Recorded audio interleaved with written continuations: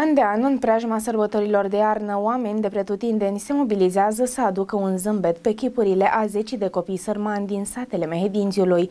Asta au făcut și tinerii din Leo Club Drobeta, care organizează strângeri de donații pentru micuții fără posibilități din acest județ.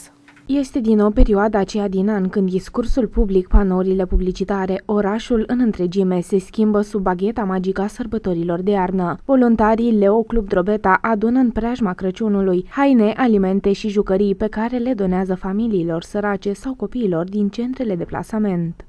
La momentul actual avem în desfășurare o campanie numită Un Crăciun pentru toți, campanie în care strângem donații pentru copiii nevoiași din județ și încercăm să le oferim un Crăciun mai frumos, un Crăciun pe care probabil nu l-au avut până acum, Ă, dacă sunteți binevoitori să ne ajutați, puteți să ne găsiți la Brutăria Măriucăi între orele 9 dimineața și 8 seara și până pe data de 20 decembrie puteți aduce cadouri aici. Ulterior, pe data de 24, le vom tria și le vom oferi copiilor aceste cadouri. Severinenii deja au început să aducă jucării, hăinuțe, dar și alte cadouri pentru copiii nevoiași din județul nostru. Am văzut că te-ai alăturat acestei campanii și ai pus o mână de ajutor aici. Spune-ne, te rog, ce anume se află în plăsuță?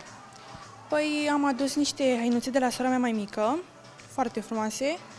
Am adus niște jucării, păpuși, mașinuțe ce am găsit, niște rechizite și am adus și câte o surpriză dulce pentru copiii cei mici. Până în data de 20 decembrie puteți aduce câte un pachetel pentru acești copii și să le lăsați la brutăria Măriu Căi de pe strada Crișan. Nu trebuie să fie totul nou, pot fi jucării, haine, rechizite, cărți pe care nu le mai folosiți, dar să fie într-o stare bună, curate și să nu fie rupte. Între 20 și 24 decembrie cadourile vor fi împărțite copiilor care locuiesc în satele alăturate orașului nostru sau chiar în oraș.